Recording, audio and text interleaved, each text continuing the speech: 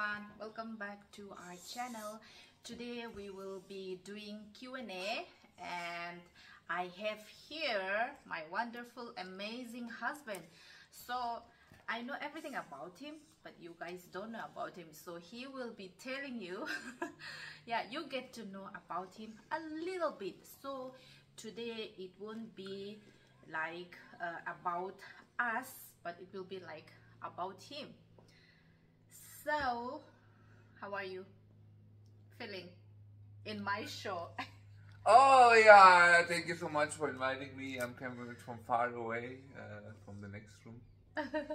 okay, here I want to be like a Lobo. I used to watch his show every Sunday, but today he don't have any show. So it's like a Lobo Naga and the show, okay? okay, so let's get started, shall okay, we? Okay, okay. So I have prepared here some question it's it's simple question of course. This is our first Q&A so.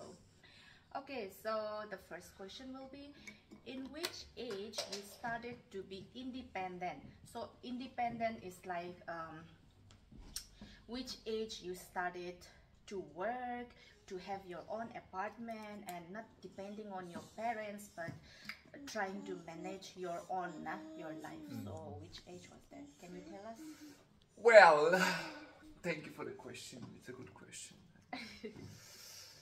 I started working or learning my job as a roofer when I was 16.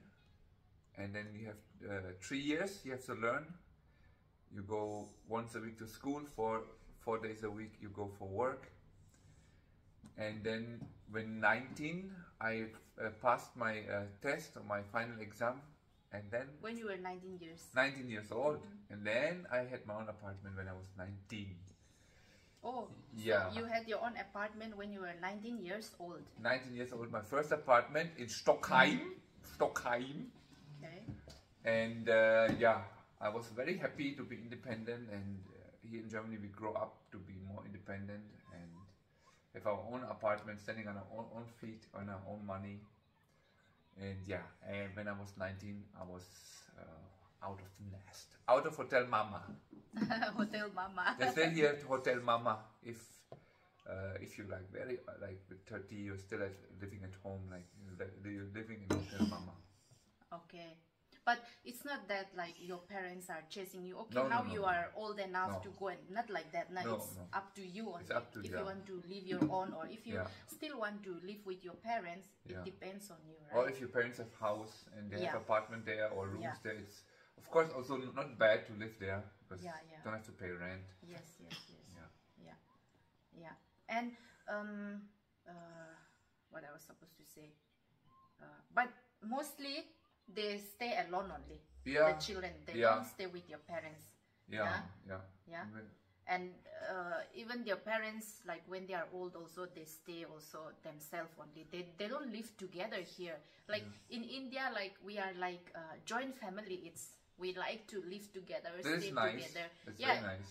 yeah one way one way is nice also but the other way is sometimes like it's good to stay far and love each other also yeah. like that but yeah it's okay it's okay it depends yeah. on the circumstances also like yeah. some they stay with your parents some they stay separate okay now the next question will be what is your height someone has asked also in the comment what is his height so see my height question. is uh, in in meters or centimeters is 190 centimeters or in feet is six two I think Okay, six, six one or six two. I think six two, six, six feet two. two inches. I yeah. think his height is.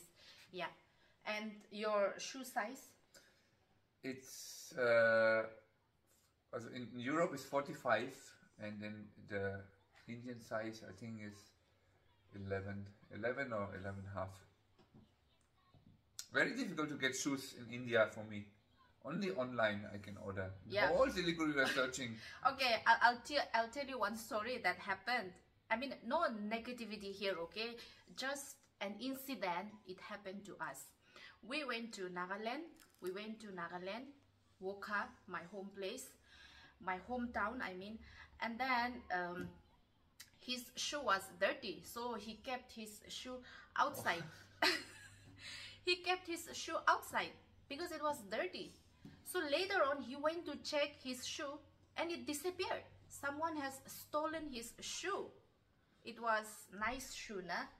It was Yeah. nice shoe. It was an Adidas shoe. So then he's like now worrying because in Wokha town, in Wokha town we will not find his size. Forget about Wokha town. Even Siliguri, in any store we don't get his No. size. We always order in Amazon online. So we were so much worried. And the next day is like my brother, he was having some program in his school. So we have to attend that program. And like, how can we go to the program in a slipper, you know? So we were so much worried. And then we were trying to inform uh, the people who know us. And then we were trying to inform. And then somebody said, somebody said like oh we saw that guy he's a drug addict we saw that guy passing through your house so maybe he might have taken because he used to steal people thing and then he used to give away and he used to exchange with uh, medicine and he used to take medicine. So we were like okay then maybe he's the only one. Otherwise who will steal? No there is no one in Wokha town who wear 44 size shoe. 45. 45 size shoe yeah so then we were like we went to his place with one of my uh, sister. And then uh, my sister was talking to him okay we know that you took the shoe. Bring the shoe shoe here right now. Bring here. We need that shoe. And he was like oh i kept it there somewhere far away. It's okay.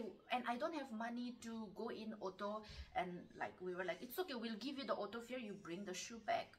And then he went uh, we, we like we told him if you don't bring we'll tell to police so he went and he brought the shoe. Luckily the shoe was still there because there was no one to wear his size you know. If i think someone was there it will be gone. I think so. yeah it will be gone. So uh, that's how we got back the shoe. Yeah. okay and now the next thing.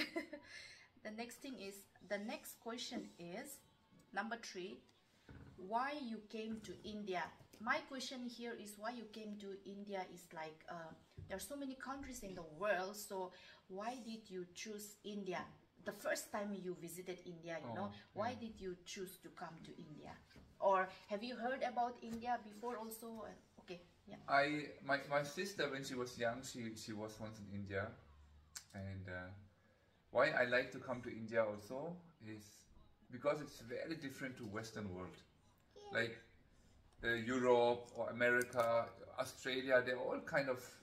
I mean, their differences are there, but it's like all Western world. It's all uh, kind of same. different culture But India is different culture. It's totally different life.